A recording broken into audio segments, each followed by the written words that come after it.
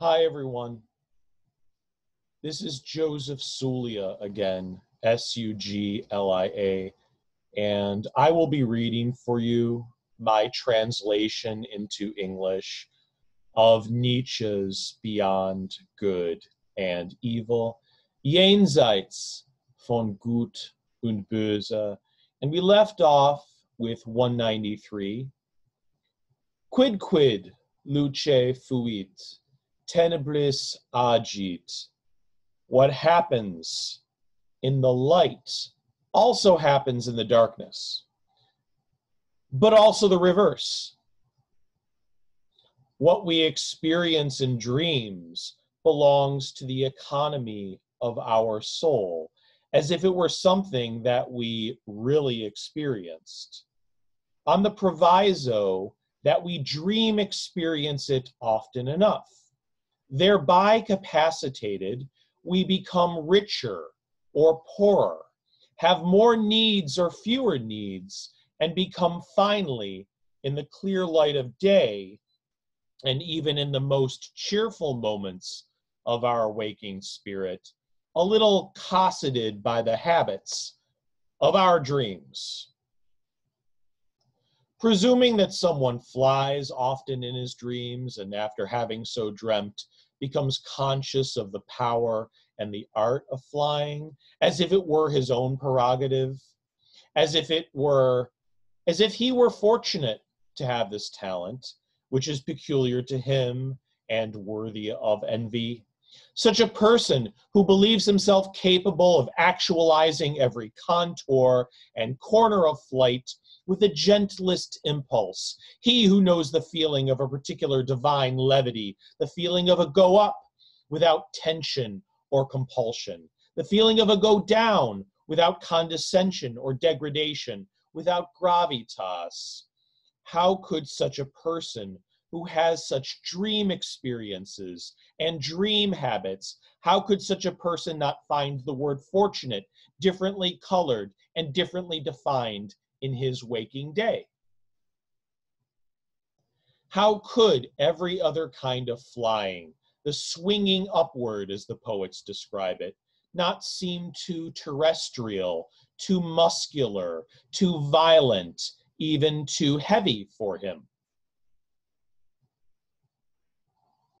Paragraph 194.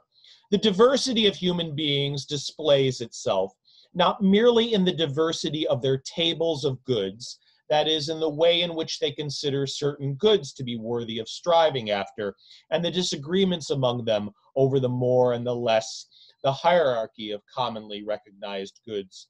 The diversity of human beings shows itself much more in the different ways in which they consider what counts as genuine appropriation, what it means to really have something. With respect to a woman, for instance, more modest men regard disposition over her body and sexual enjoyment to be a sufficient and satisfactory sign of having, of possession. Someone who has a more mistrustful and fastidious thirst for possession will see the question mark in the above definition. He will see the mere appearance of possession within and will demand a more meticulous examination in order to know not merely whether the woman belongs to him alone, but to know what she has abandoned, to know that she has abandoned everything that she has and that she would like to have. Only this qualifies as possession for him. A third man, however, would not consider this to be the end of his mistrust and his desire for ownership. He asks himself whether the woman, even if she abandons everything for his sake, is not doing so for a phantasmal version of himself. Above all, he wants to be fundamentally, even abyssally, known by her before he is loved by her at all. He dares to allow himself to be found out. Only then does he feel in total possession of the beloved. When she is no longer deceived by him, when she loves him for his devilry and hidden insatiability as much as she loves him for his kindness, his patience, and his intellectuality.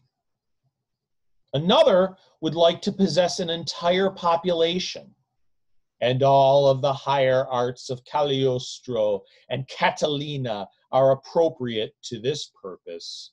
Another who has a delicate thirst for possession says to himself, Never deceive where you would possess. He is irritated by the idea, made impatient by the idea, that a mask of himself rules the hearts of the people. Therefore, I must make myself known, and before all else, know myself. Among serviceable and benevolent people, a vulgar guilefulness appears almost regularly. Those whom they help must first be dressed up in order to receive their help. As if the unfortunate, for instance, should earn their help. As if those who demand their help should be profoundly grateful for their help. As if those who demand their help should prove themselves to be dependent, submissive. With these imaginings, they dispose themselves over the unfortunate as if he were their possession, as if they were benevolent and serviceable people merely out of their desire for possession. These people are jealous when someone crosses them while they are helping, or when someone helps an unfortunate before they do. Parents involuntarily do something similar with their children. They call it education. No mother doubts in the core of her heart that the child was born to be her property. No father contests his right to subject the child to his conceptions and valuations. Indeed, formerly, it seemed easy for fathers to dispose over the life and the death of the neonate, as it was with the ancient Germans. And as it was with the father, now the teacher, the social station, the priest, the prince, sees within every new person the surefire opportunity for a new possession from which it follows ellipsis dot dot dot um, from which it follows if i may continue nietzsche's path of reflect of reflection from which it follows that human beings are animated by the will to power. That everyone, every human being, has the desire for appropriation, the desire for assimilation. Not assimilation in the sense of fitting in, of integrating into a crowd, into a, a commonality. No, the desire to assimilate other human beings, the desire for possession all of us do. This flame rages within each one of us. I mean, love is a form of appropriation. Love is a form of appropriation. Compassion, too, is appropriative. And yet, this is another difference, yet another difference between Nietzsche and his unofficial teacher, his ex officio mentor, Schopenhauer, right? Schopenhauer believed that human beings are motivated by three impulses egoism, compassion, and malice. And notice what Nietzsche does here. Nietzsche erases compassion from this list, or more precisely stated, he relegates compassion to egoism or malice, right? Nietzsche reduces compassion. He distills compassion to malice or to egoism. There is no such thing for Nietzsche as pure compassion, pure compassionateness. There's no such thing as pure compassionateness because there's no such thing for Nietzsche as pure selflessness. That doesn't exist for him all compassion is the instantiation of the desire for appropriation. You are compassionate toward those for whom you feel pity. And what accompanies pity? Contempt. For whom do we feel contempt? For those whom we consider to be inferior to us, and those whom we want to own, to possess, to appropriate.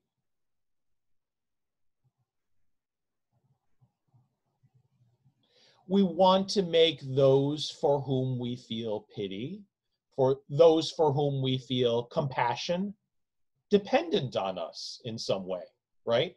We want to make them instruments, implements, utensils of our power, appendages of our strength.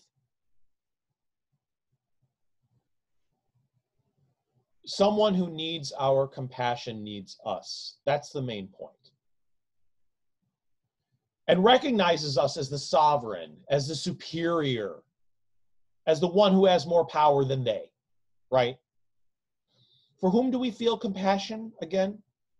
Those who are powerless or those who have an inferior degree of power in relationship to our level of power. Remember, for Nietzsche, all relations are power relations. All relations are power relations. All relationships are relationships of power. That is the meaning of the phrase, the will to power, which describes all of existence and not just human existence. So, a few more remarks on this truly mar- remarkable passage. It's a remarkable passage. Notice the examples that Nietzsche gives us, right? There's the third lover, and the third lover does not want his beloved, the woman whom he loves, his inamorata, to love a phantasmal version of him, right? That isn't enough for him. It's not enough for him that she loves the phantasm, right? No, no, no, no, no, no, no.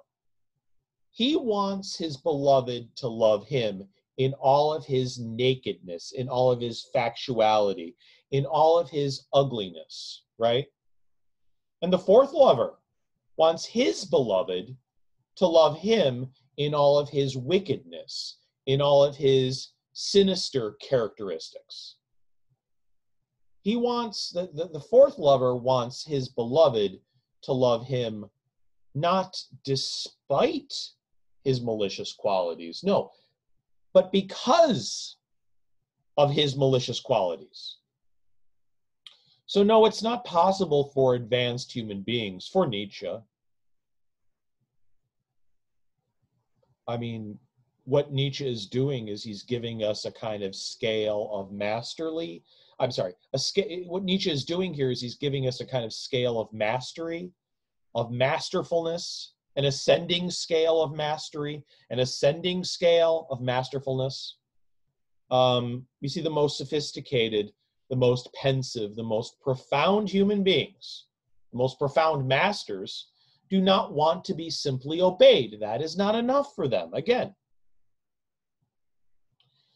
um, I mean, consider the father who's very authoritarian and he wants his son to visit his grandmother.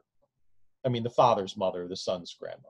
So he pounds, the father pounds, the authoritarian father pounds on the son's bedroom door, right? Bang, bang, bang. Son, put down that Xbox. Get in the SUV. We're going to grandma's house. Oh, Dad, do I have to? Yes, you have to. Yes, you have to. Get in the SUV now. You're coming whether you want to or not. That's the authoritarian father. But then there's the totalitarian father, um, which is both mo- more, he's more sophisticated than the authoritarian father, but he's also worse than the authoritarian father because the, the totalitarian father will knock on the son's door gently and say, Hey, Ace, um, I'm sorry to bother you, but do you want to go to grandma's house? Oh no, Brian, the son calls his father, Brian. I want to play Call of Duty or Minecraft or Fortnite. Yeah, come on, champ. Oh, come on. Come on, you know you want to. You know you want to go to grandma's house. You know it will make you a better person. Yeah. So the totalitarian ruler demands total ownership, which means the totalitarian ruler demands that the desires of his subject or her subject comply and conform. So it's not enough that the subject complies and conforms. No, no. The totalitarian ruler wants to have total ownership of the person, of the subject, of the follower. So the totalitarian ruler wants the subject's desires to conform and to comply. What does that mean? So it's not the authoritarian ruler who says, you're going to do this whether you want to do it or not. No, no, no, no, no. This is the totalitarian ruler who wants to get inside of the head of his or her subjects, his or her followers. You see, the totalitarian ruler is more sophisticated than the authoritarian ruler because he or she wants to possess the soul of the subject, his or her object of power. So external external obedience is not enough for the totalitarian ruler. Mere obedience is not enough. It's not enough to obey the law. It's not enough just to obey the law. No, you have to love the law. You have to respect the law. You have to have Achtung for the law. You see, you mustn't merely obey the law, you must obey the law with every fiber of your being. That's the point. You must believe in the law. You must be in love with the law. You must absorb the law. You must interiorize the law according to the totalitarian dictator. The law must become part of you you must willingly and completely submit yourself to the law. Then we're talking about totalitarian dictatorships. The totalitarian dictator does not merely mandate submission to the law. No, no, no. Reluctant obedience is not enough. Reluctant submissiveness is not enough. Reluctant conformism is not enough for him or for her. That would be mere force. In German, force is Kraft, K R A F T which has nothing to do with artificially processed cheese. No, the opposite of that is Macht, M A C H T, power. There is a dyad between Kraft and Macht, between force and power. Well, what is the difference? They don't mean the same thing. Opposed to force is power, right? Force is mere compulsion. You force a person to do what you want that person to do. But obedience, again, in force is merely external. You force a person to say what you want that person to say. You force a person to do what you want that person to do. Um, you force that person to act according to your schema. But power is much more deeper than that. And it's much more intrusive, much more interiorizing, much more infiltrating and insinuating and insidious. Power is. Power is that. Because power comes inside of you. Power issues into you. It insinuates its way into you. That's one way of distinguishing power from force, right? Force is violence. Um, force is the threat of violence at the very least. But power is much more effective than force. You know, as opposed to force, power suffuses your entire being. What am I talking about? You might know the parable of the wind and the sun. So the wind and the sun make a bet. Who can get the man below below the heavens to remove his hat? Who can get him to do that? Well, the wind blows the hat from the man's head. That's easy enough. The wind sets in motion its gusts, its thrashes, and billows the hat from the man's head. the wind buffets the man with its violence. That's easy enough, right? It's simple, it's easy. But the sun, on the other hand, beats down its rays onto the head of the man until the man swelters, he sweats, he's sweaty, and he grows uncomfortable and he voluntarily removes the hat himself. He willingly does so. So the sun gets the man to remove his own hat by weaving its way into the man's head and heart and soul. So, who emerges victorious? Well, obviously, it's the sun. The sun triumphs over the wind. It's clear, isn't it? Um, why is the sun the victor? Why is that? Well, the goal is to remove the hat from the man's head, right? But the sun is so much more subtle, right? The sun beats down its rays, radiates on the man, gets the man to remove his own hat willingly.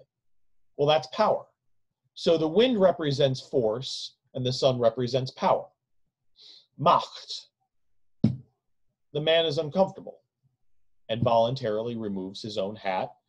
Thus, who wins? Clearly the sun, because the sun gets the subject to do what the sun wants him to do by fooling the man into thinking that that is in his best interest. And who is to say that it's not? But the sun gets the man to act according to what the man believes to be his own schema. So the sun is able to realize its desires through the vehicle, through the vector of the man.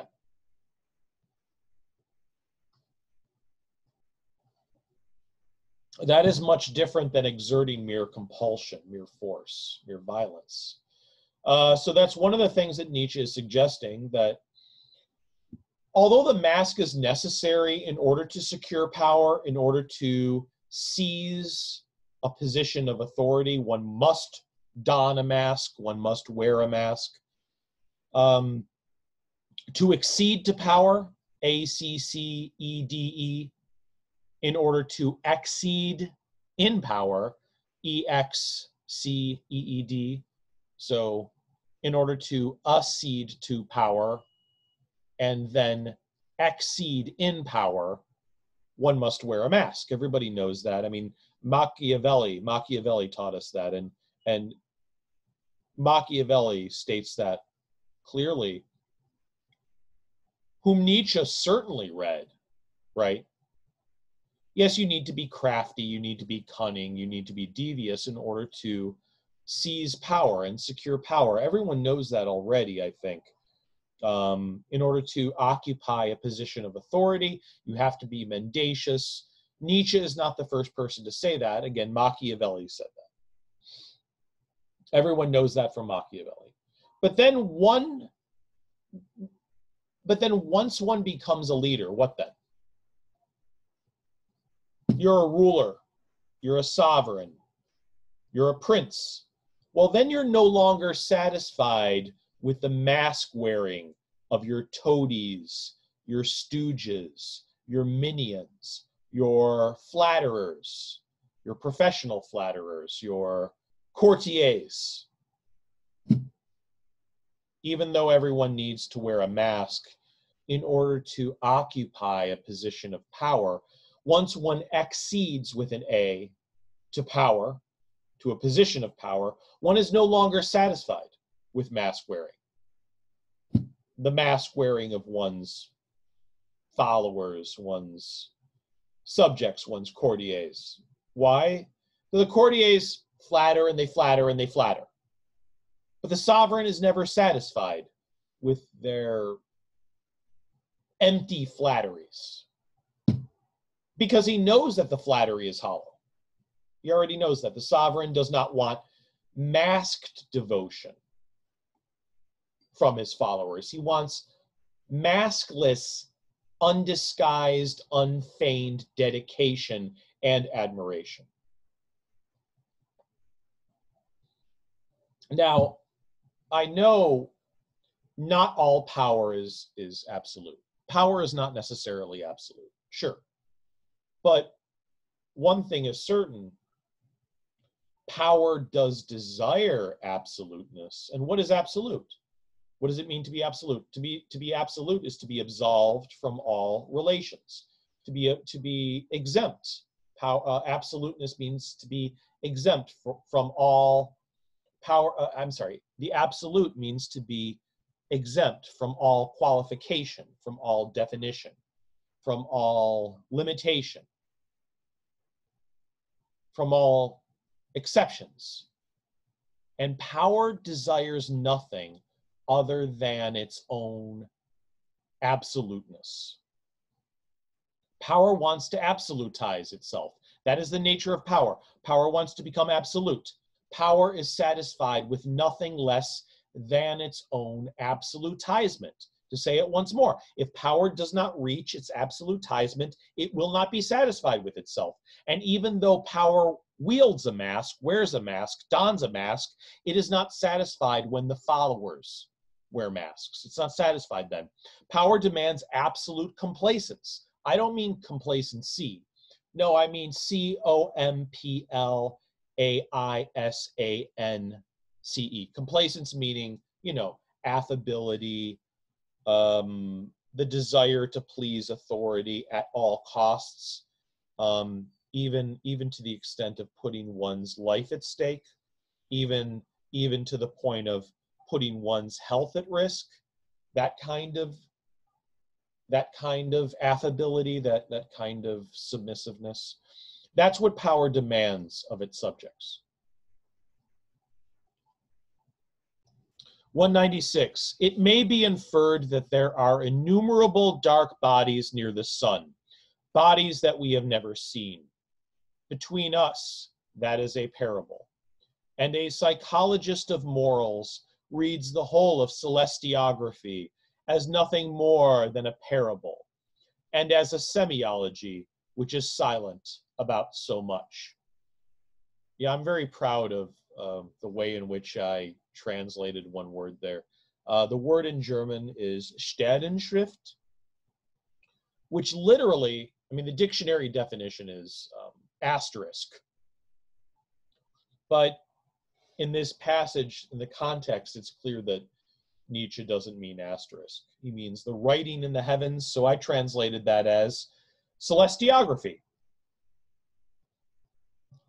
197. Animal predators and human predators, such as Cesare Borgia, are fundamentally misunderstood. Nature is misunderstood so long as we are looking for sickliness at the core of the healthiest tropical monsters and vegetative growths. We do not understand them at all when we go looking for a hell that would be born within them, as almost all moralists thus far have done. Does it not seem that the moralists hate the primeval forest and the tropics? And does it not seem that they consider the tropical human to be a disease and a kind of human degeneracy, as if the tropical human were its own hell and self torment. Why then, in favor of the temperate zones, in favor of the temperate humans, in favor of the moralists, the mediocre, this for a chapter entitled Morality as Timorousness. Yeah, this is a typically Nietzschean passage. I mean, Nietzsche is implying that if one is a real psychologist of morality in the scientific sense, then one should not moralize, one should not impose one's morals onto the object of one's study. One would not be sanctimonious if one is a genuine psychologist of morals, and one wouldn't make moral judgments, in other words. So don't adjudicate in a moral way upon one subject. You know, I'm reminded of. Um, Nietzsche's interpretation of Shakespeare's Macbeth. You know, I say Shakespeare's Macbeth. I don't know if there's another Macbeth, but the play, the tragedy of Macbeth. Um, in uh, in Daybreak, in Morgenröte, Nietzsche makes the point therein that it is quite delightful to read Macbeth because Macbeth is the figure of the heroic villain or the villainous hero. He doesn't actually use those terms, to be fair, but that's what he means. Um, Nietzsche does see in the figure of Macbeth a kind of heroic villain or a villainous hero, right? And we are the spectators. We, as spectators or as readers of the play, take a kind of delight in Macbeth's commitment to evil. um, and we vicariously enjoy Macbeth's commitment to evil. That's that's what Nietzsche is saying in, in Daybreak. The reason that Macbeth is so captivating to us is that he is doing things that we're not allowed to do. Um, but more pointedly, we find him so captivating because he is so vigorous. He's vigorous and dynamic, and he's full of vitality. He's affirmative of life in all of its violence, in all of its tumultuousness. That's Macbeth. And that's why we identify with, with Macbeth, because he possesses those very traits. We we are the spectators, we are the readers of the play, and we are able to vicariously enjoy, to delight in, to take delight in the blissfulness of evil, the freedom of evil in the context of a spectacle. So it's just a spectacle, though. So it has no direct effect on our life, it doesn't hurt us in any way. Um, that's why Macbeth is so captivating um, by which I mean, by which Nietzsche means both the, the figure, the character of Macbeth, but also the play by Shakespeare. The Tragedy of Macbeth by William Shakespeare. Um, I have to confess that I differ from Nietzsche on this point because it seems to me that Macbeth is neither good nor evil. Uh, Nietzsche sees Macbeth as evil. I don't think he's good. I don't think he's evil because he has no free will. And if he has no free will, he has no moral responsibility. Do you see what I'm doing here? I'm reading Nietzsche against Nietzsche. um, it's like I'm reading the Nietzsche of human, all too human, against the Nietzsche of daybreak. Um, no, Macbeth has no moral responsibility at all. He's buffeted by the winds of necessity. He's carried along, he's driven by the winds of necessity the forces of necessity. Um, so those moralizing commentators who see in Macbeth a fallen angel, a reprobate, a sinner, someone who has fallen from grace, all of that, they're wrong. But Nietzsche is also wrong, I think. I mean, for, well, I mean, Macbeth is presented as being quite sympathetic in the play, and a close reading of the play would bear that out. If you're interested, you may read my essay on Macbeth. It's available on um, my essay site, my essay website. Um, but I also think that Nietzsche is wrong about Macbeth, I have to confess. 198. All of these morals directed at individuals in order to foster their happiness, as it is called, what are these morals other than proposals on how to behave in relation to the degree of danger in which an individual lives with himself or herself? They are prescriptions against the passions, their good and bad tendencies, inasmuch as they have the will to power and want to play the master. Artifices large and small, clever stratagems large and small, the reek of old household appliances clinging to them. All of them have a baroque and irrational form. All of them have a baroque and irrational form, since they are applied to everything, since they generalize where one is not permitted to generalize. All of them speak absolutely, all of them are taken absolutely, all of them are seasoned with more than just a grain of salt. Moreover, they are only tolerable and even become seductive when they are over seasoned and stench dangerously of otherworldliness above all. Considered intellectually, they are worth little and are hardly scientific, much less wise. Rather, to say it one more time and to say it three more times. Smartness, smartness, smartness, intermeshed, interspersed with stupidity, stupidity, stupidity. Whether it is the advice or the curative of the Stoics, indifference, and stone column coldness toward the fiery foolishness of the affects, or whether it is the laugh no moreness and cry no moreness of Spinoza, who naively advocated for the destruction of the affects through analysis and vivisection, or whether it is the toning down of the affects to a harmless middle ground where they could be easily satisfied, as it is in moral Aristotelianism. Even morality as the gratification of the affects through a deliberate dilution and spiritualization, and the symbolism of the arts. Something like this is done in music or divine love or a love for humanity for the sake of God for in religion the passions obtain their civil rights again, provided that there is smartness, smartness, smartness, and stupidity, stupidity, stupidity.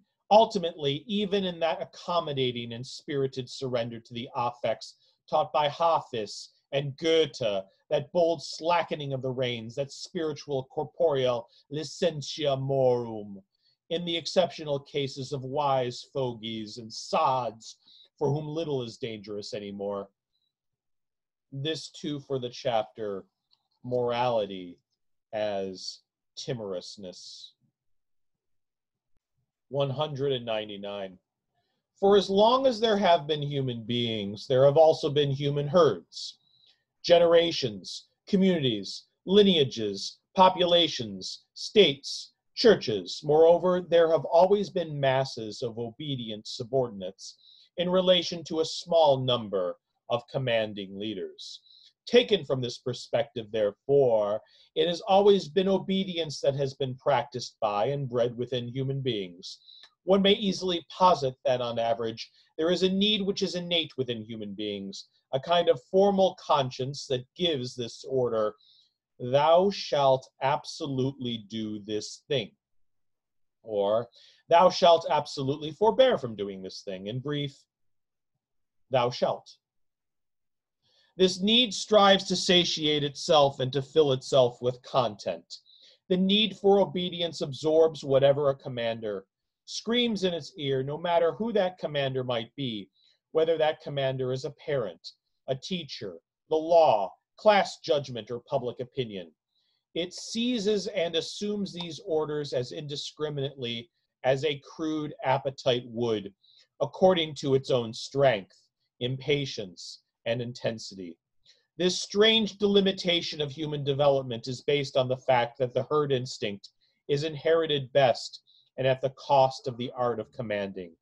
Manifestations of the herd instinct include hesitations and prolongations, frequent retrogressions and rotations. Imagine if this instinct proceeds to its final excesses, there will be an absence of commanders and independent human beings.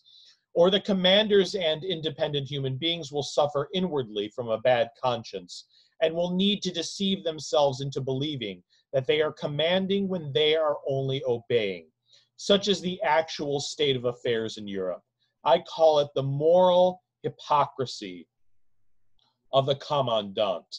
The only way that they know how to shield their bad consciences is acting as if they were the executors of, of older and loftier commands from their ancestors, from their constitutions, their rights, their laws, or even their God. Sometimes to protect themselves from their bad consciences, they even borrow herd ways of thinking or herd maxims such as the first servant of the people or the instrument of the common good. On the other hand, today's European herd, human, gives the appearance of being the only human who is permitted to extol those traits which make him tame, congenial, and useful to the herd as the only actual human virtues. Thus, sense of commonality, benevolence, considerateness, industriousness, moderation, modesty, indulgence, pity, these are virtues. Now let's remember the virtues for Nietzsche are nothing more than sublimations of base, vulgar, crass impulses, instincts. However, even though these impulses are sublimated, they're sublimated without sublimity. There is nothing sublime about them, even at the end of this process. Even when these, even when these crass impulses are raised up to the virtues, they're still not sublime, even though they're sublimated. For those cases, however, in which one believes that one cannot dispense with a leader and bellwether, today one makes experiment after experiment in replacing that commander by adding together a herd of clever herd humans, such as the origin, for example, of all representative constitutions. What a benevolent act for those European herd animals. What a redemption from intolerable pressure when someone appears who can give absolute commands to the European herd animals. The effect of Napoleon's appearance is the final piece of major evidence of this fact. The history of Napoleon's influence is almost the history of higher happiness brought about in the most valuable human beings and moments in the whole of the current century, which is, as you know, the 19th century, right? Nietzsche again is bemoaning the lack of rigor in modern culture. And he believes that modern culture is stultifying intellectually humanity, in particular, the most exceptional human beings of all. Nietzsche is here writing about the equalization and the leveling off of distinction in the modern world. Equalization is the equalization and leveling off mark modernity. They are the fundamental traits, the fundamental characteristics of modernity. They, they mark the modern world. The modern world, modern culture, is not rigorous enough for Nietzsche. And it is, again, it is intellectually stultifying. Nietzsche is writing here about how in modernity standards have been softened. Whether we are talking about uh, intellectual standards, linguistic standards, political standards, aesthetical standards, uh, literary standards, any kind of cultural standards.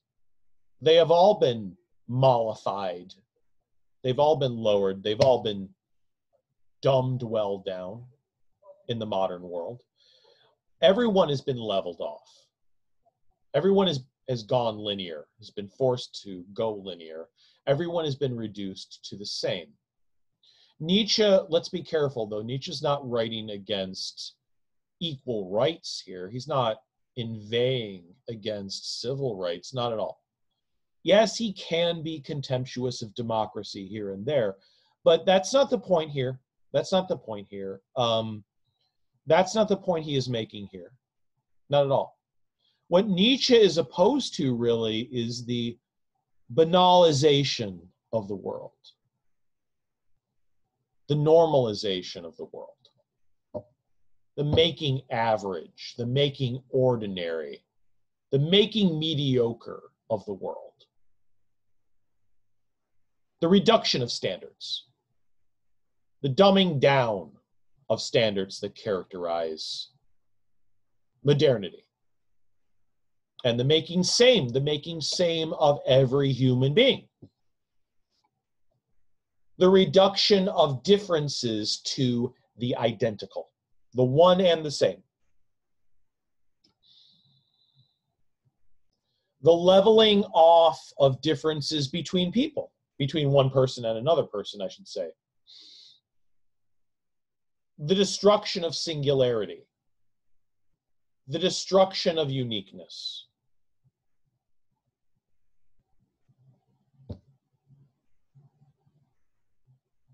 Modern culture is a culture in which everyone is expected to be the same.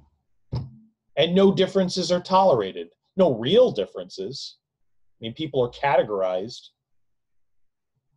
the reduction of talent, the reduction of distinction, the leveling off of all nuance, the eradication of differences between one human being and another human being is what marks the modern world. This is not a defense of tyranny, though. This is not a defense of dictatorship. It's far from it. Quite the opposite, I would say, quite the opposite. No, this this is an attack on the modern world. This is an attack on on the age of modernity, which is the age of the crowd. What Nietzsche calls the herd. And let there be mo- no mistake, he's referring to humanity as the herd. Most the common run of humanity as the herd. He's not thinking of any particular group. And a crowd can easily convert itself, can transmute itself into a mob. I think we talked about this before, maybe not, but mob. The word mob is etymologically related to mobility and mobilize. The crowd, when it is mobilized, becomes a mob because a mob is the crowd in motion. The mob is the crowd in action. And mobs are violent. That's a problem. If modern history has taught us anything at all, it has taught us that. And again, this is not a critique of civil rights or of equal rights, and this passage should not be misrepresented in such a fashion. Um, to do so is just bad philology practiced by people who don't read. And this is this is really Nietzsche's diagnosis of the modern world. In the modern world, differences are reduced to the same, to the universal same, to indistinguishableness, universal sameness, banality. That's what Nietzsche is saying.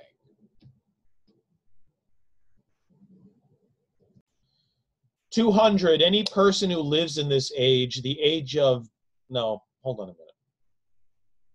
Two hundred and one. So long as usefulness, especially herd usefulness, dominates moral judgments, as long as one's gaze is directed at the preservation of the community, as long as the immoral, in quotes, is considered to be whatever seems to endanger the survival of the community, there can be no morality of neighborly love. Suppose that there is already the constant practice of considerateness, pity, equity, gentleness, reciprocity of helpfulness. Suppose that in the current state of society, all of the drives that will be later described with the honorable title of virtues and will almost coincide with the concept of morality.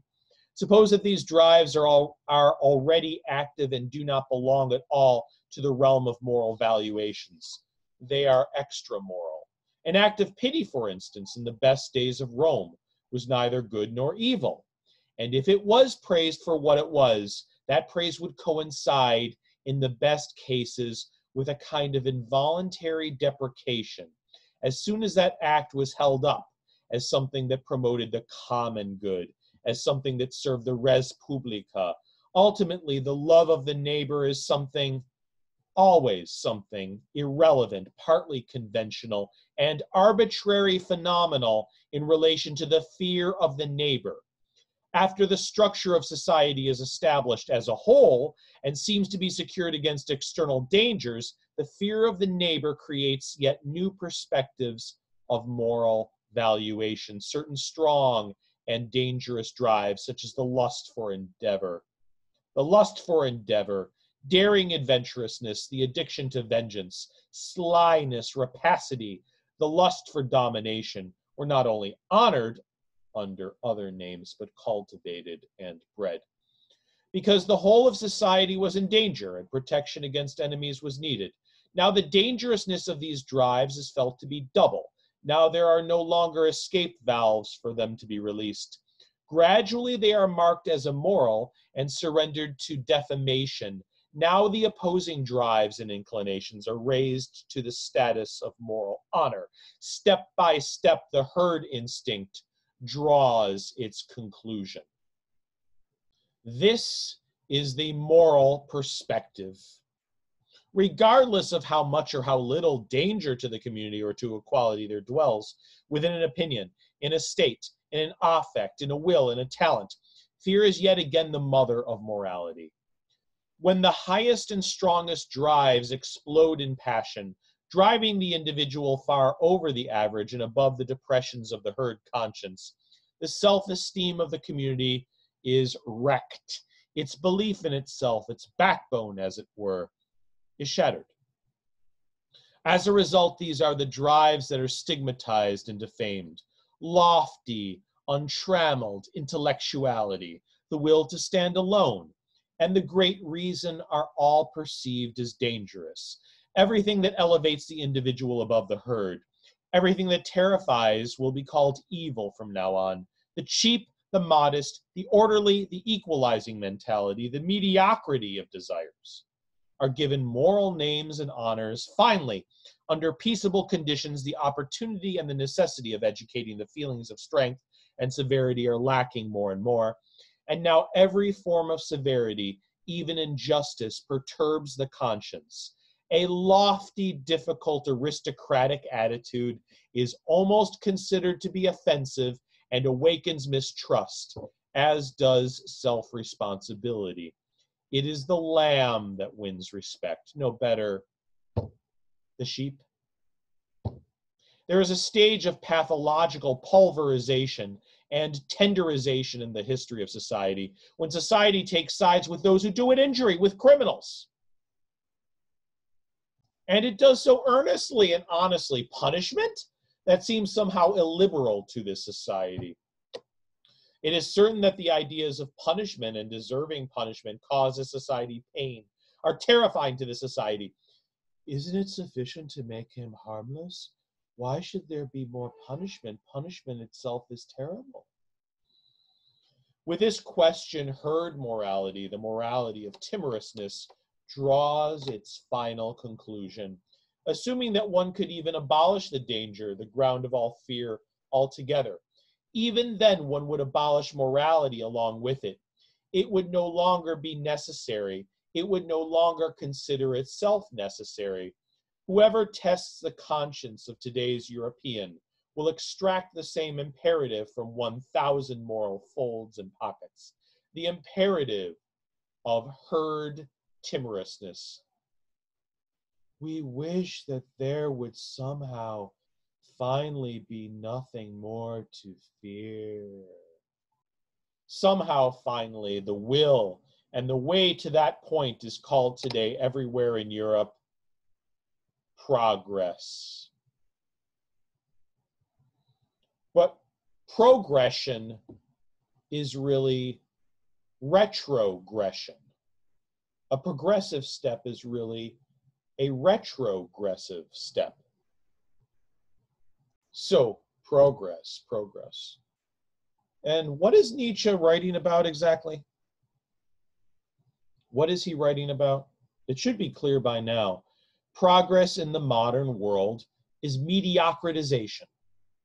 Progress is the making mediocre of everyone and everything, so that every cultural production must be mediocre and every person must be mediocre. If it's truly daring and exciting and complex and profound and challenging and provocative, an artist, for example, will be decried not merely as bad, but as sinister, wicked, evil, immoral. The same thing for a book. The, for the very fact that, that this book makes somebody think, or a film, or a play, a poem,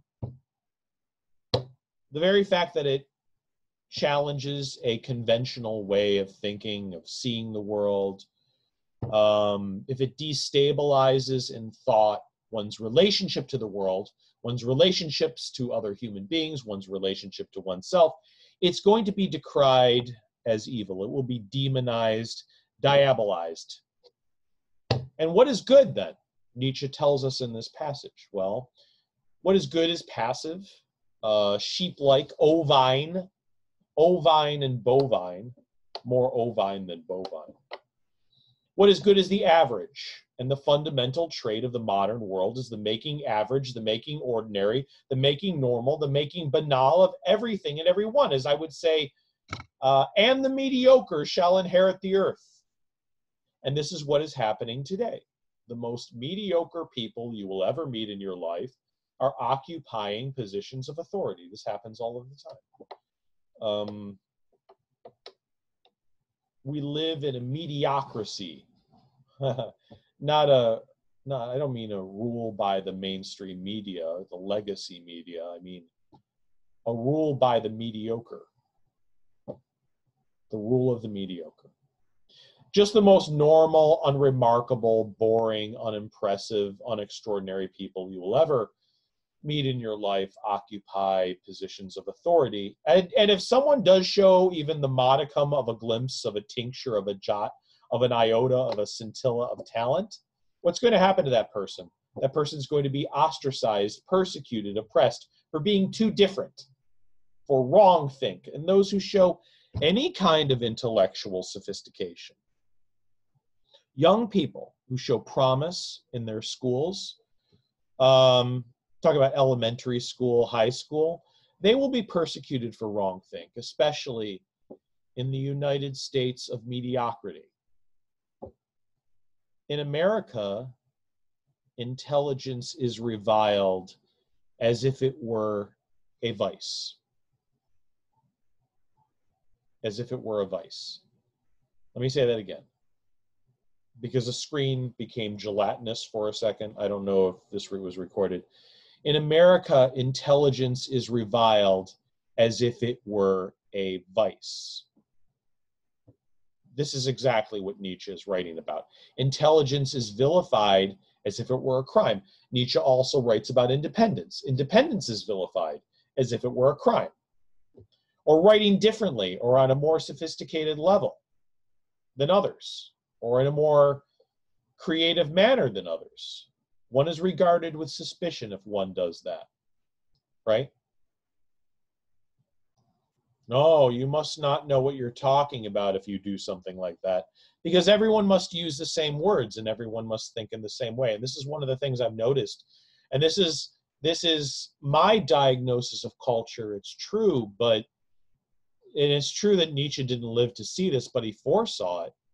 Um, it's true that the vocabulary of the average person is expanding, but have you noticed that everyone uses the same words, the same phrases, the same slogans?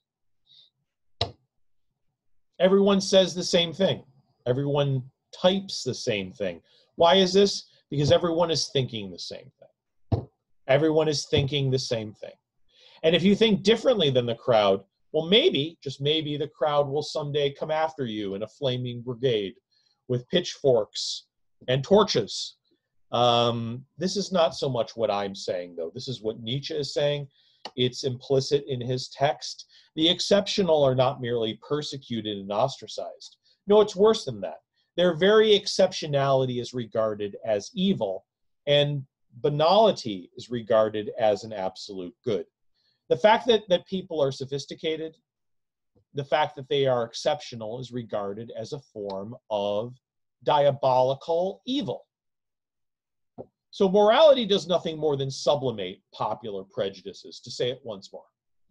But this is sublimation without sublimity, because popular prejudices are raised up to the moral good, but the moral good is by no means sublime.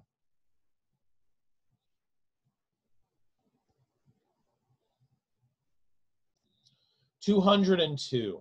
Let us say once more what we have said 100 times before. For the ears are not well inclined to such truths, for our truths. We have long since known how offensive it sounds when we reckon human beings to be animals, without ornamentation or metaphor. Blame will almost be attributed to us for referring to human beings of modern ideas with the expressions herd, herd instinct, and so forth. What is to be done about this? We cannot do otherwise, for here, herein dwells our new insight. We have found that wherever the European influence is dominant, all of the main moral judgments of Europe are unanimous, and this includes the countries that are allied with Europe. What Socrates believed not to know and what the famous snake once promised to teach is apparent in Europe. Today's Europeans know what is good and what is evil. Now it must be difficult to listen to. It must sound terrible to one's ears when we repeatedly admit what we believe that we know, What, what is exalted with praise and with blame, what is called the good, is the instinct of that herd animal called the human being.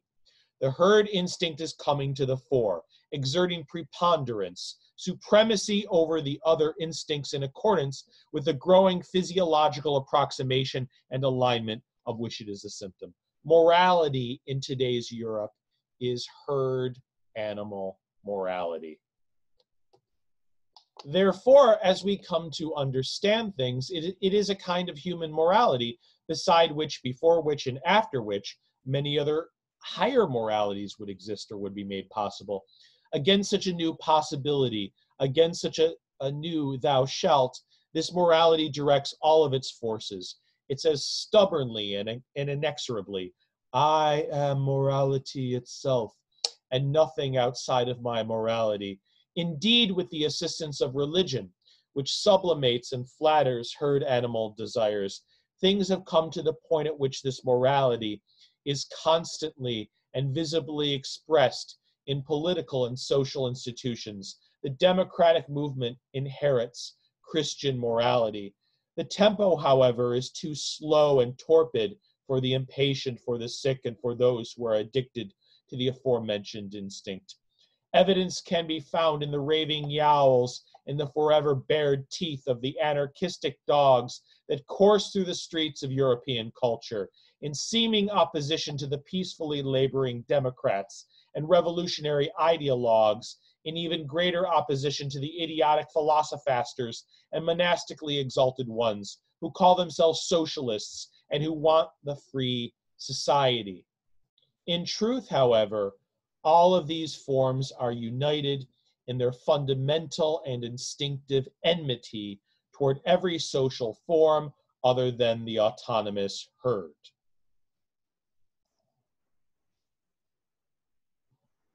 To the point that even the socialistic formula.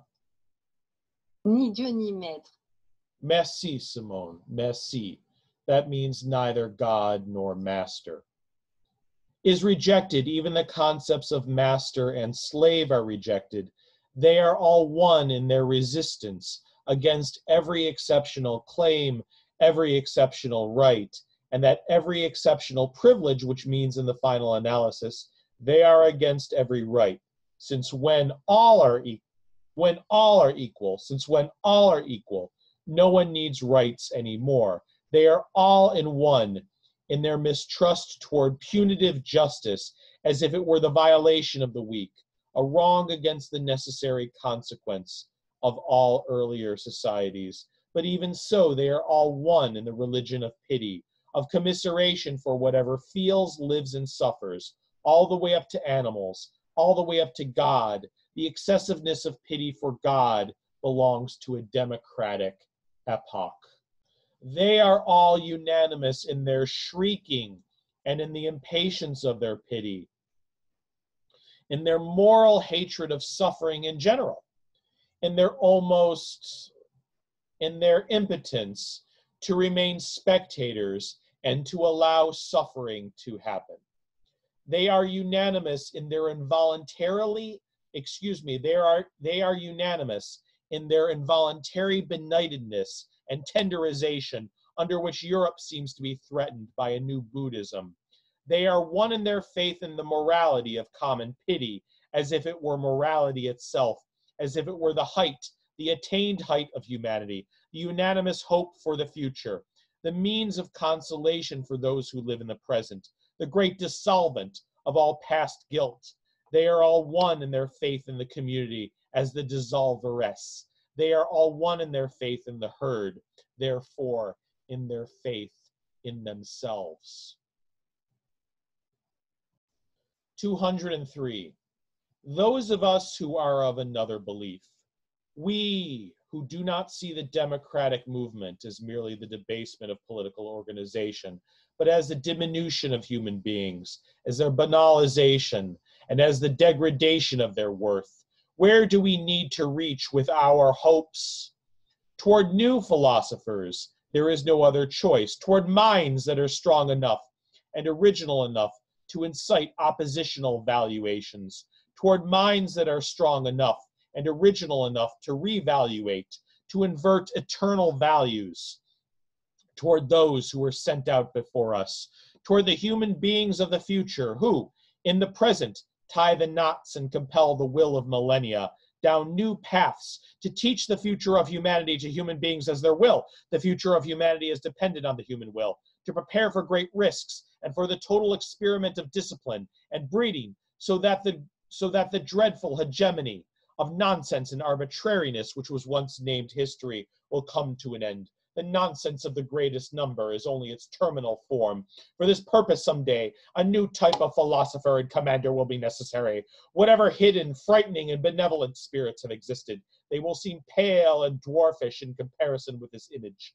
The image of such a leader that floats before our eyes. May I say it aloud, my fellow free spirits, the circumstances that are required for the origination of the leader must partly be created, partly be taken from other sources, and exploited the most probable means for such a soul to grow up to its greatest height and violence, the most likely tests for it to undergo, in order for such a soul, in order for such a soul to feel the compulsion of these tasks, the new pressure, the new hammer of such a revaluation of values, will steel the conscience and transmute the heart into iron so that it might bear the weight of such a responsibility. On the other hand, the necessity of such leaders the terrifying danger that they might be absent or fail and degenerate are those our real cares and darkenings. Do you know this, my free spirits? These are the heavy, distant thoughts and thunderings that slip across the skies of our lives. Few pains are as sensitive as the pain of having once seen or sympathized with an extraordinary human being who has derailed and degenerated, or even having surmised that such a thing once happened. However, whoever has an exceptional eye for the total danger that humanity itself will degenerate. Whoever recognizes the monstrous contingency as we do that has been playing games with the future of humanity thus far, a game in which neither hand nor the finger of God has ever played along. Someone who surmised the catastrophic undoing, inherent, inherent to the stupid unwittingness and confidingness of modern ideas. Even more, the stupid unwittingness and confidingness that lies concealed, that lie concealed within the whole of Christian European morality. Such a person suffers from an anxiety with which no other anxiety can be compared.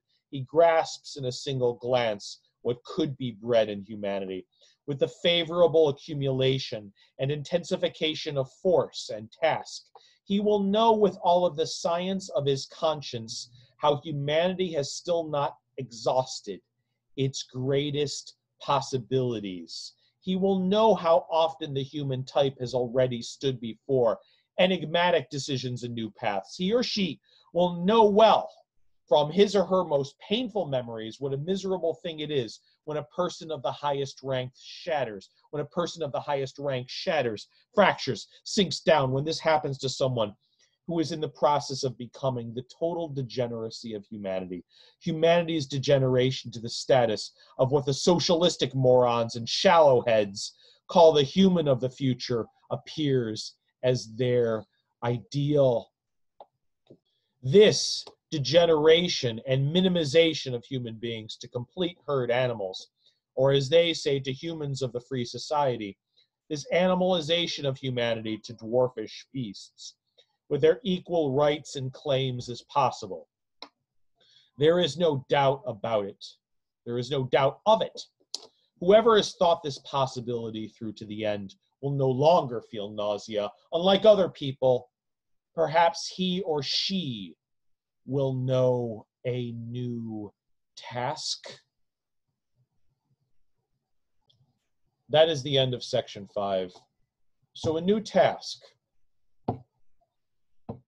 Well, it's clear what Nietzsche is suggesting, isn't it? This is a culture, this is modern culture of minimization. It is not an appropriate breeding ground for exceptional human beings. And as a result, humanity itself cannot flourish, cannot blossom, cannot grow to its highest height. Humanity cannot keep pace with its promise in a culture that is inimical to it, that is adversarial to it, that only gives exceptional human beings adverse conditions, conditions that prevent its development, its evolution. No exceptional human being can grow in the dryness, in the aridity of this kind of a culture. That's what Nietzsche is saying. No new conditions need to be established in order for human beings, in order for exceptional human beings to grow, to develop, to evolve, to reach their greatest height in order for them to actualize their potentialities, their possibilities. I know that, of course, not every possibility can be actualized, but some possibilities can be actualized. Some of them can. And human beings are not living up to their greatest potentialities in a culture such as this because of this culture in which they do not live no, it's a culture in which they disintegrate, in which they dissolve, in which they decompose, in which they putrefy, in which they rot. That is the culture that Nietzsche is diagnosing here. Is Nietzsche incorrect? Is he wrong? Let's go on to section six. Sixth section, sixth section. We scholars 204.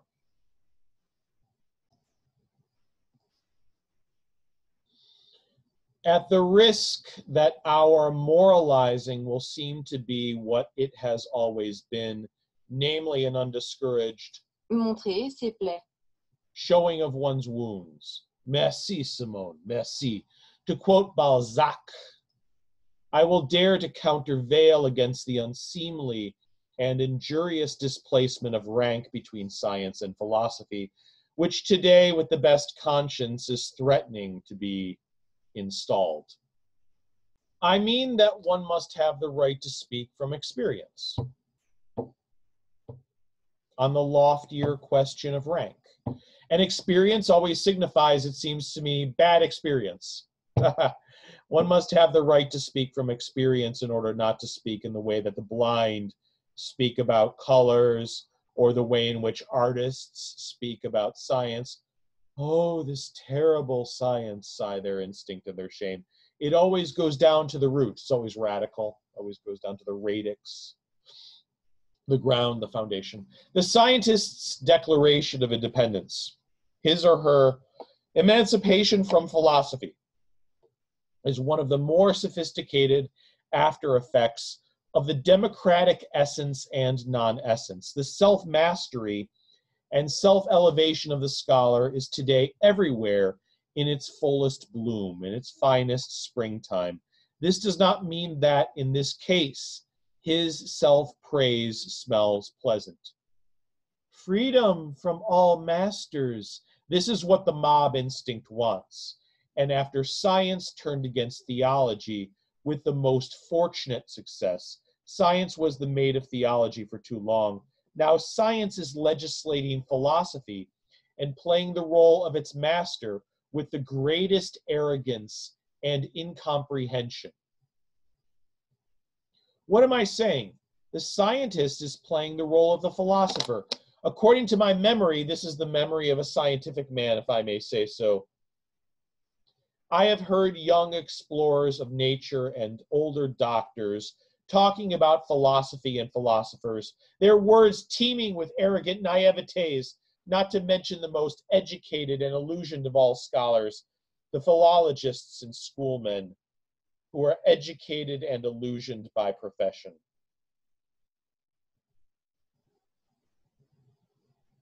Soon the specialists and the loafers instinctively resisted all the synthetic tasks and capacities Soon the industrious laborers scented the otium and elegant voluptuousness of the philosopher's household of the soul and felt reduced and belittled. Soon came the color blindness of the pragmatists, who saw nothing in philosophy other than a sequence of refuted systems and an extravagant expense that would never do anyone any good, Soon sprang up the fear of camouflaged mysticism. Soon sprang up the justification of the limits of cognition. Soon came the disrespect toward individual philosophers, which had been unwittingly generalized to a disrespect toward philosophy itself.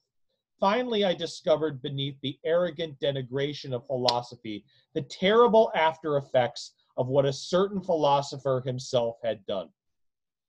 One no longer was submissive to this particular philosopher, but neither did one escape the spell of his dismissive evaluations of other philosophers. The result was a bad feeling about all philosophy. Now, here Nietzsche is alluding to his unofficial teacher, Schopenhauer, yet again. Schopenhauer hated Hegel. And that's not an exaggeration. I mean, Schopenhauer seethed with rage and disgust against Hegel, and he leveled many animadversions against Hegel. Um, but was Schopenhauer wrong? So Schopenhauer's strongest animadversion was against the Hegelian idea that universal concepts were the only true reality and that nature is rational. You know, the ideal is the real, the real is the ideal. So the normal course of nature, right? The course of nature is somehow intellectual. He thought that, Hegel thought that the natural course of things was universal conceptuality. that didn't he didn't mean that nature could be described by concepts. No, he just thought that there was spirit, there was intellect in nature and in everything. Nature is rational. And what's strange is that, and this is Schopenhauer's point, it's not, if you read the um, introduction of the published version, the first published version of Die Phänomenologie des Geistes, the phenomenology of spirit, you'll see that in the introduction, um, Hegel believed that the self acting concepts in the human mind were the truest reality. That's crazy talk. I'm sorry. I mean, that's it's crude to say that, but Hegel was a blockhead. And I think that Schopenhauer was envious of him and jealous of him. Now, envy and jealousy don't mean the same thing. I might have talked about this before. I don't remember, but I won't talk about it here. But um, Schopenhauer had a very short lived stint as a professor, and he only had two students. Um, there were two students in his auditorium, and down the corridor was Hegel. And there was a long queue of students, all of them young men, young German men, waiting to get into the auditorium. They couldn't even fit in the auditorium. There were so many young students who wanted to hear Hegel, who was a rock star and a blockhead, that they couldn't fit into this vast auditorium. And, and according to some anecdotes, there were students who were sitting on windowsills in the auditorium just to hear the master speak. Now, I, I somehow doubt that many of them were listening to Hegel. From what I've read,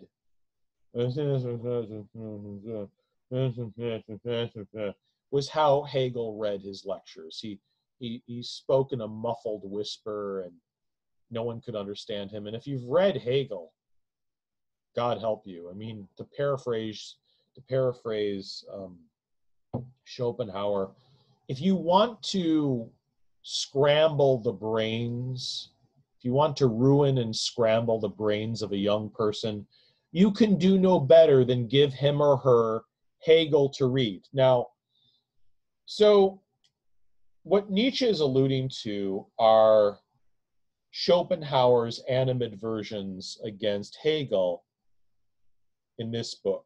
This is the English translation of it. Now, there are many animadversions against Hegel in this book, but I'm just going to read a few of them, only a few of them. So, Schelling was followed by a philosophical ministerial creature, namely Hegel, who, for political purposes and through a blunder at that, was dubbed a great philosopher from above, a platitudinous, dull, loathsome, repulsive, ignorant charlatan who, with unprecedented impudence, scribbled together folly and nonsense that was trumpeted by his venal followers as immortal wisdom and accepted as such by dunces, whereby such a complete chorus of admiration arose as had never before been heard. That's one of the milder critiques of Hegel. And um, this one is a this one is a winner. This one is a darling. Um,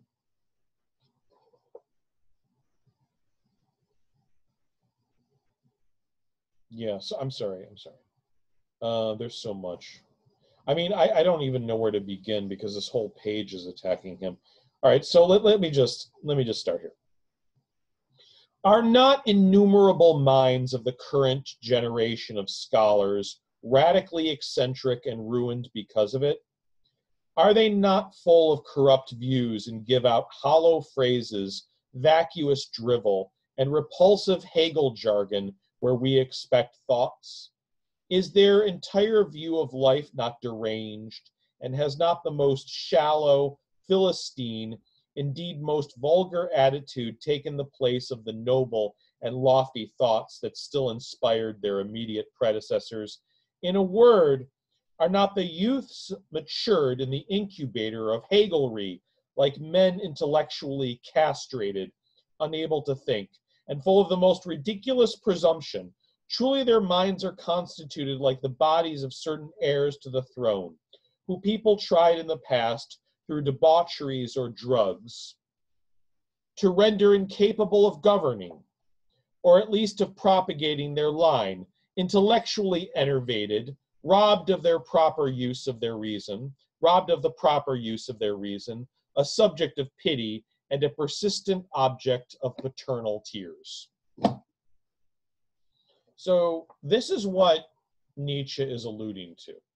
These are only two examples of the animadversions that Schopenhauer directed against um, Hegel in his, as Nietzsche puts it, in his unintelligent rage. I don't really agree with Nietzsche, though. I, I think that Schopenhauer has a point because I know this is an oft used phrase, and it's some sometimes connected with Marx, but um, it came from Schopenhauer. Um, Hegel did turn the world on its head. Again, is Schopenhauer wrong? I don't think he is necessarily. To, to return to Nietzsche, such seemed to me, for example, Schopenhauer's after effect on contemporary Germany, with the unintelligent wrath that he spewed at Hegel, Schopenhauer made the last generation of Germans break away from German culture. Everything considered, German culture of the recent past was a zenith and divinatory refinement of the historical sense. However, Schopenhauer himself was impoverished, unreceptive, un-German to the point of ingenuousness in this matter. All things considered, the damage inflicted on the once respectable reputation of philosophy might have to do with the human all too humanness, that is, the miserable character of contemporary philosophy, which has opened the door to the instinct of the mob. One recognizes the degree to which our modern world has strayed from the Heraclitean type, the Platonic type, and the Empedoclean type or whatever these regal and magisterial hermits of the spirit might have been called. We should acknowledge the good reasons why such representatives of philosophy, thanks to the fashions of the time, are brought up and brought down, for example, the two lions of Berlin, the anarchist Eugen Dühring and the amalgamist Eduard von Hartmann. We should acknowledge the good reasons why a decent person of science would feel oneself to be of a superior type and lineage to those philosophers, especially the mishmash philosophers who call themselves philosophers of reality or positivists, those who inspire a dangerous mistrust of philosophy in the soul of a young, ambitious scholar. Such philosophers are, in the best case, themselves scholars and specialists. One could feel it. They are all defeated by science and then resubjected to science.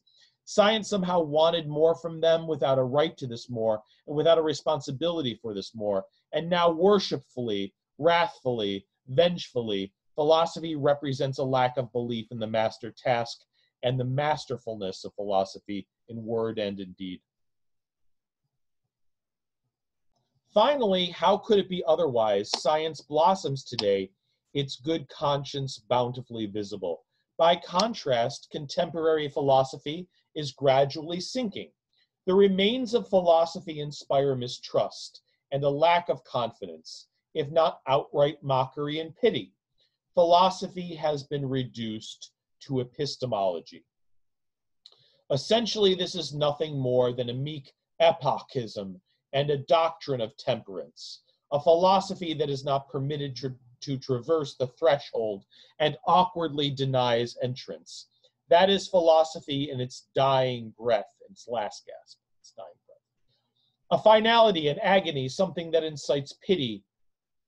How could such a philosophy dominate I love Nietzsche's characterologies, his typologies. He, he has character studies, and we're going to be reading about them now. There are three. Um, the first is the specialist, the second is the scholar, and the third is the objective person. So, um, yeah, these are psychological case studies. But I do have something to say before we move on. Um, I wouldn't take these characterologies literally. So, so none of these people, these types, are truly neutral. They they pretend to be neutral, but they are really human, all too human, right? So what Nietzsche is doing is he's counterpoising and counterposing the masks that they wear with their own fragile, brittle, human, all too human selves. So you've got to keep that in mind. It's it's sometimes Nietzsche will describe the mask, and sometimes he will describe the self behind the mask and it's very important to keep these separate. And again, don't literalize the text, okay? All right, so we're going to go on to 205. This is the specialist. So, there are in truth so many dangers today to the development of the philosopher that one has reason to doubt whether such a fruit can ever ripen. The tower of the sciences has grown to monstrous proportions, and with it, the likelihood, the likelihood that the philosopher will tire of learning or will stop learning altogether and instead specialize. The result will be that he will never reach his height, or she will never reach her height, and never be able to survey, to look around, to look down, or he or she will reach his or her height too late, when his or her best time will long have been over, and his or her energy will long have been expended, or he or she will become so damaged, vulgarized, degenerated, that his or her vision, the totality of his or her value judgments, will mean very little anymore even the refinement of his or her intellectual conscience hesitates and causes him or her to hesitate. He or she becomes afraid of the seductions of dilettantism, of the millipede with its thousand feelers. He or she knows all too well that anyone who loses one's self respect no longer commands as a knower, no longer leads. He or she would be forced to become a great actor, a philosophical Cagliostro and rat catcher of spirits. In short, he or she would become a seducer. Ultimately, it comes down to a question of taste, if not a question of conscience. and to redouble the difficulties of the philosopher, he or she is required to give a judgment not on the sciences, but on life and on the value of life. He or she is required to give a judgment, a yes or a no. He or she is reluctant to believe that he or she has the right, much less the obligation, to have such a judgment. He or she believes that he or she would have to search through the most comprehensive range of experiences, perhaps even through the most disturbing and destructive experiences, before coming to this right, to this belief. And he or she believes that he or she would have to do so hesitantly, doubtingly, mutedly, mutely, mutely.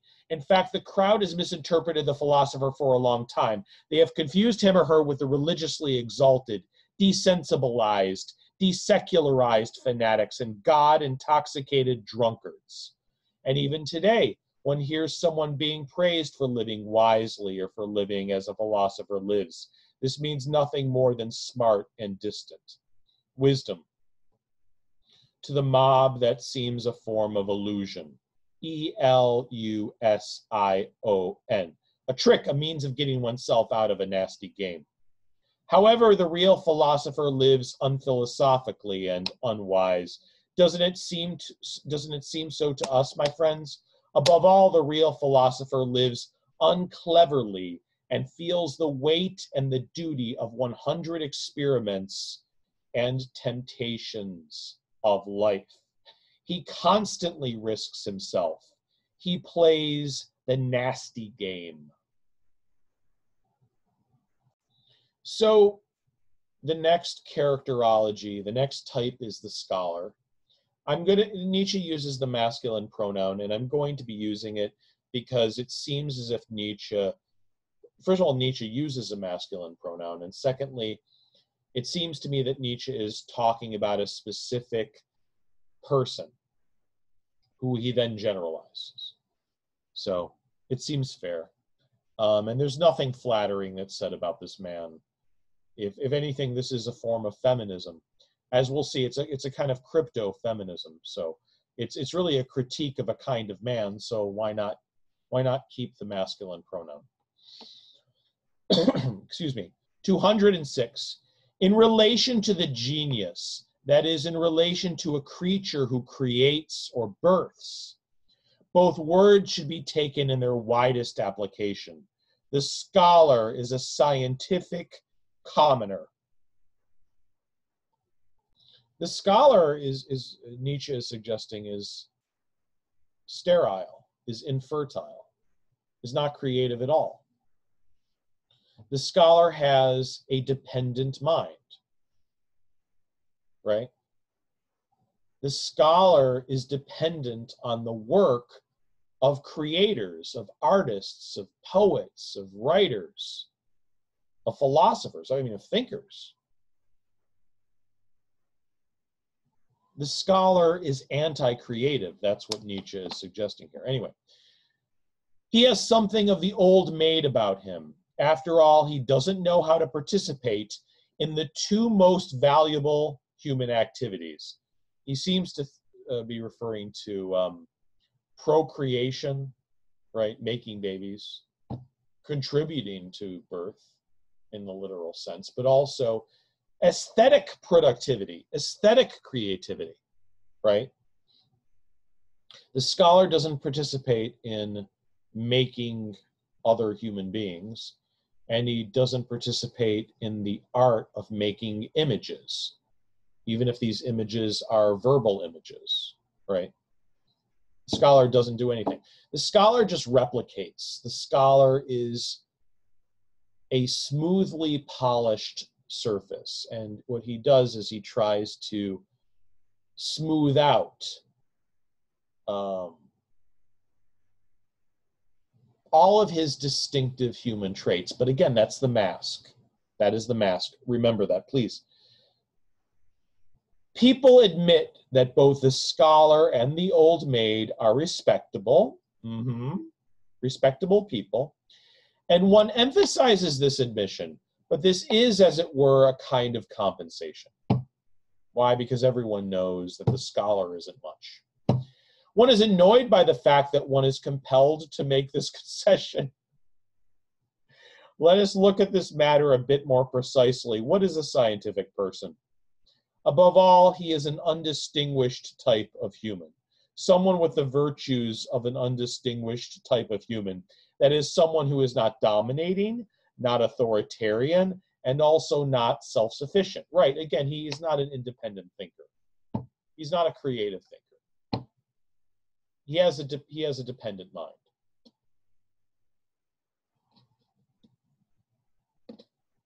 He's not able to think critically about anything. He's anti creative.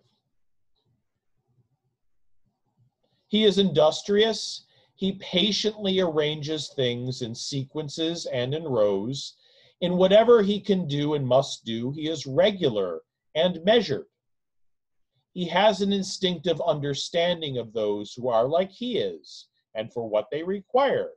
He requires, for instance, a portion of independence a green meadow, the peacefulness without which no work can be done. He claims honor and recognition, which presuppose acknowledgement, acknowledgeableness, the sunshine of a good name, the constant seal of his worth and usefulness. This allows him to overcome again and again that inner mistrust which lies at the core of all dependent people and herd animals the scholar usually has the diseases and disorders of the undistinguished type. Don't take that literally. It doesn't mean that literally. He is fraught with petty envies and has a lynx's eye for the coarsest qualities of those whose heights he will never scale. Yeah, he's he's nothing more than the appendage of the state. He's an organ of the state. He is servile, slavish to the state, to the institution whose ends he serves. He is confiding, but in the fashion of someone who lets himself go without ever releasing himself. Remember what Nietzsche told us earlier. Openness is a form of concealment. I mean, that was my that was my interpretation of the aphorism, but you know, talking about oneself, as Nietzsche writes, can be a way of concealing oneself. So the scholar talks and talks and talks, but he doesn't ever really disclose himself. And when people are around him who are sharing intimacies, intimacies, intimate secrets, when they're being familiar, when they're being open, oh, he takes mental notes. He transcribes what they say so that he can use their words against them because he's petty. He's petty and he's pettish. He's fault finding. He's trivial. He's a trivial person who has a mind obsessed with trivialities and has no ideas of his own, no thoughts of his own.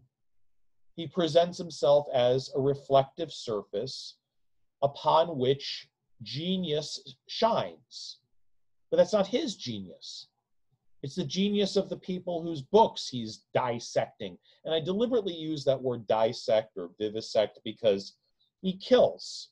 He kills creativity and he has a cadaver in front of him and he mutilates the cadaver. And then he itemizes and catalogs the cadaver, right? That's his job, that's his task to return to the text, and when he is around people who are releasing themselves, he just stands there colder and more closed off than anyone in the room. His eye becomes like a slick, self withholding lake without a ripple of delight, without a ripple of sympathy.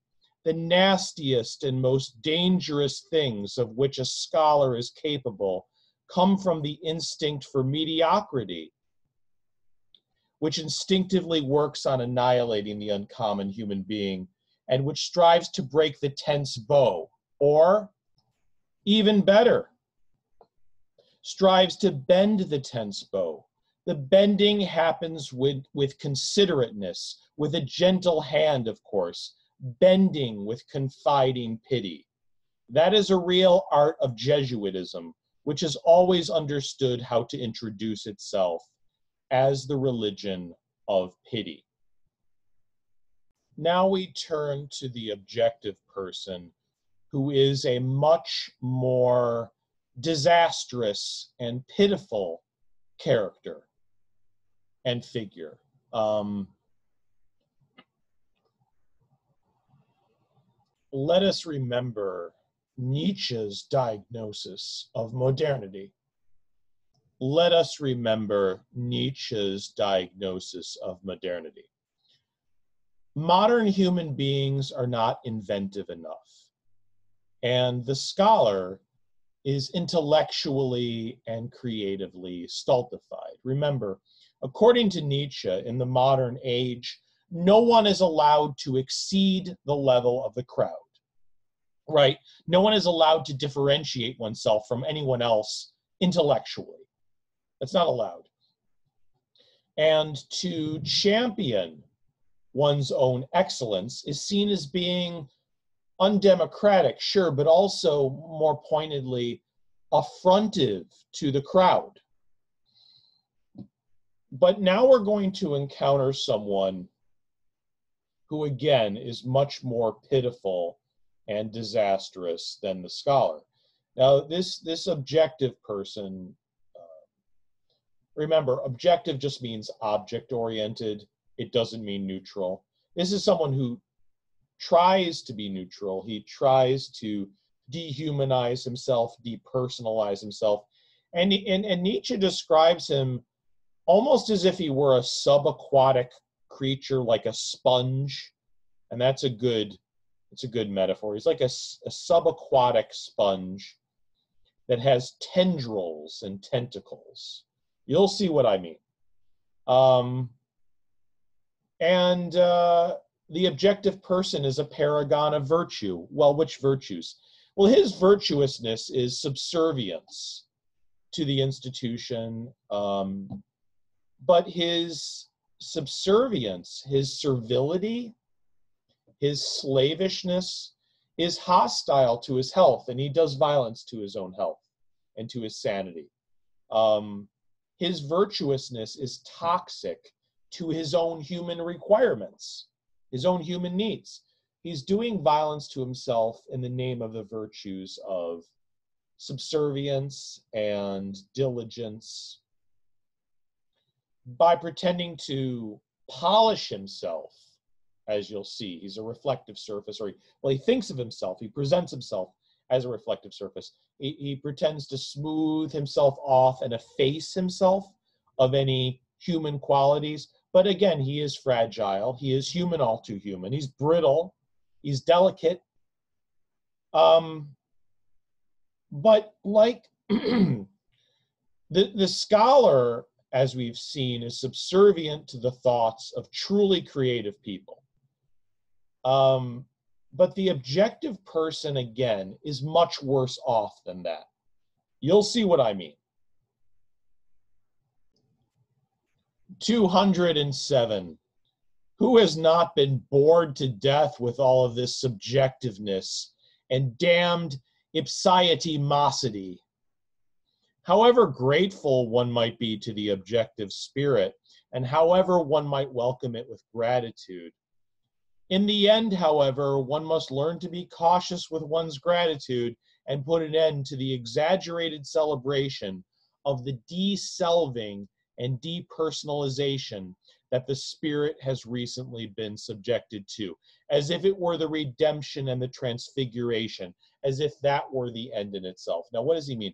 So, Nietzsche is essentially saying at the beginning of this passage, um, look, look, I'm not a big fan of subjectivity. I'm not a fan of romanticism and the piety of romanticism. All of this grubbing around in the soul, all of these confessions of the self, and all of this sentimentality, this kind of effusion of emotion. I'm sick of it too. But why completely annihilate subjectivity which is something that he's going to talk about. Why why does it have to be one extreme or the other? So so he he understands he's sick to death and bored to death of subjectivism, but there has to be some personality somewhere. I mean, you, don't want to erase your whole personality and become, you know, robotic. I know that's that's post Nietzsche, but still. This deselving and depersonalization of the spirit has been tending to happen in the pessimist school, which has its own reasons for honoring disinterested knowledge. The objective person, here we go, the objective person who, unlike the pessimist, no longer swears and reprobates, is the ideal learner. After 1,000 failures and semi failures, he is the one in whom the scientific instinct blooms. Assuredly, he is one of the most expensive tools that exist. He belongs in the hand of the one who has more power than he. Again, the objective person is an instrument of an institution.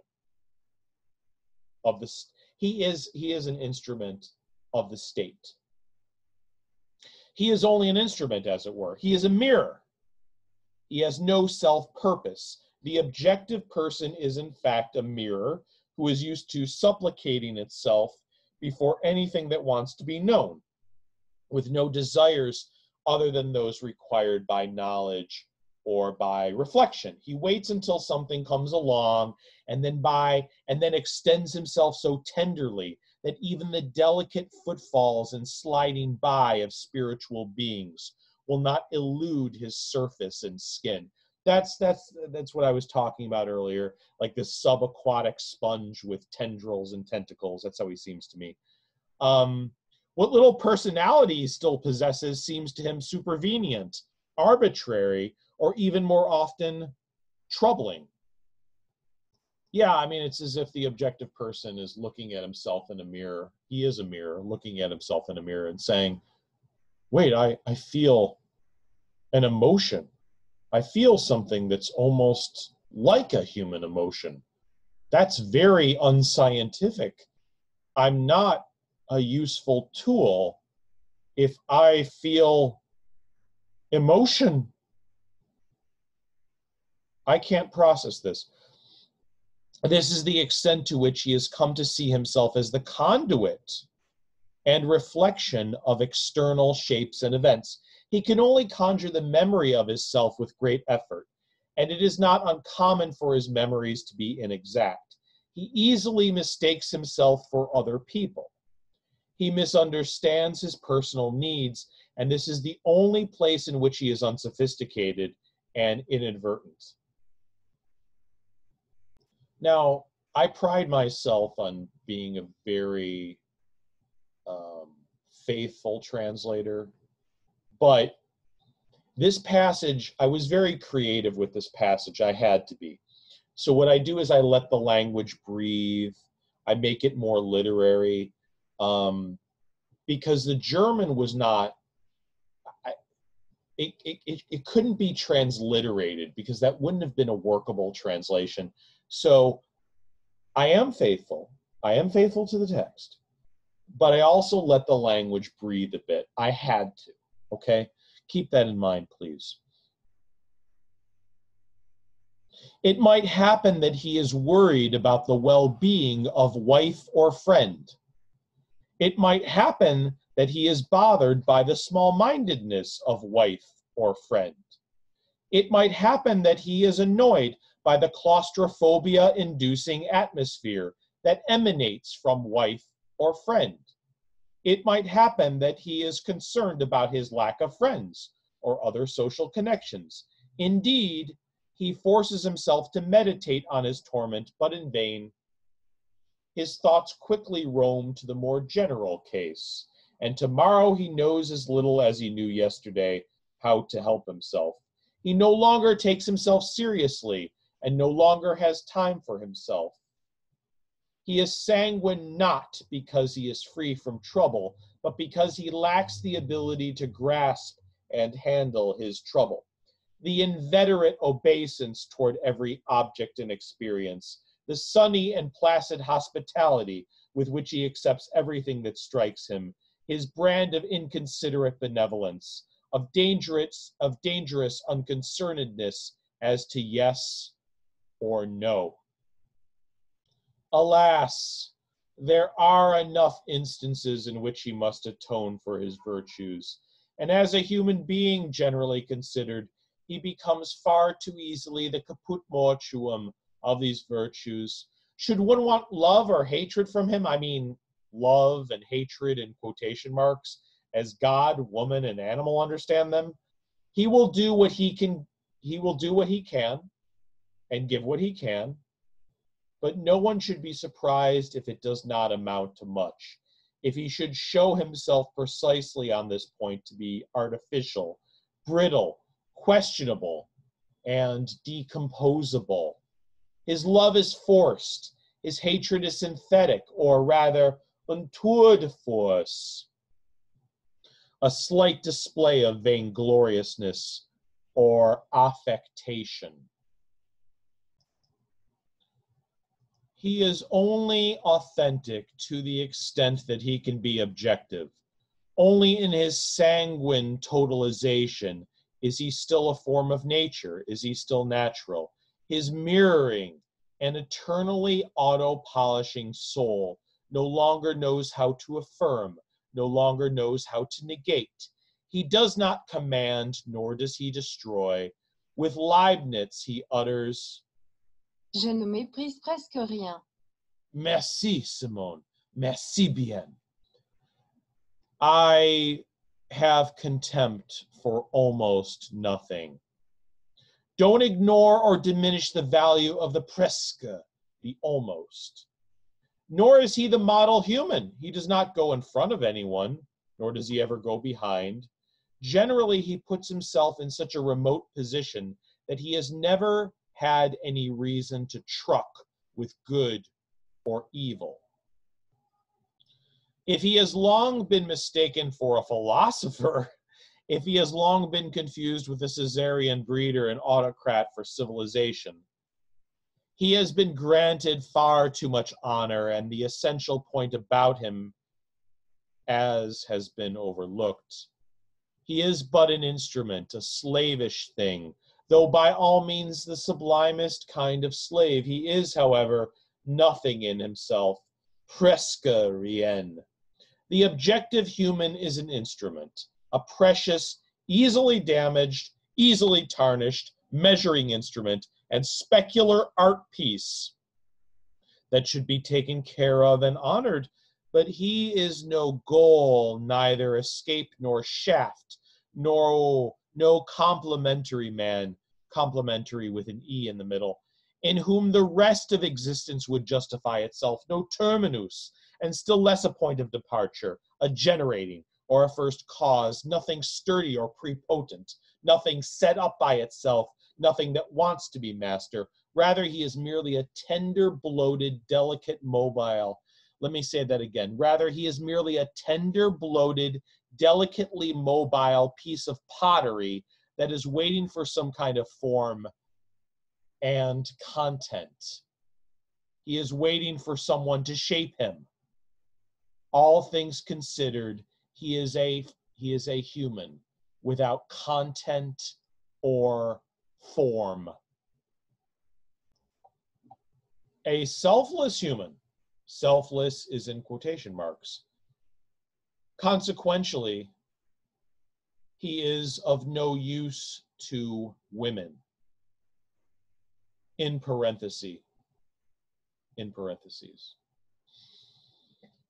again i i want to emphasize that nietzsche is not always a misogynist. He's sometimes a misogynist but sometimes he's a feminist. He's a crypto feminist a nietzschean feminist and even a philogynist a lover of women um, th- there are many passages in which women are praised to the sky by Nietzsche.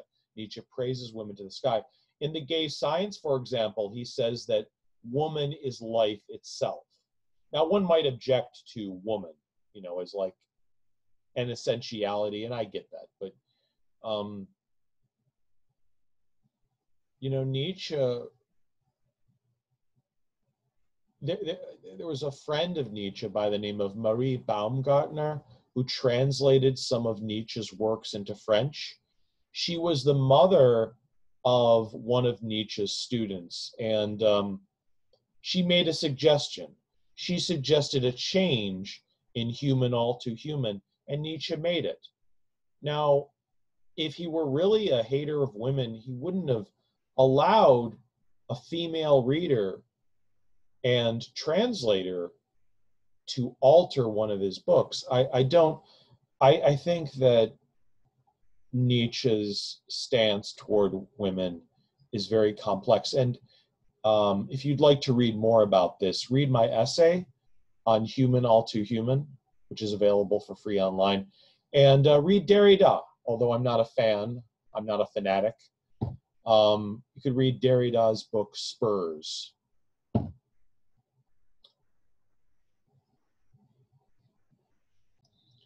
I think here is a good place to end. This was a long video. Thank you very much. Until next time. Goodbye.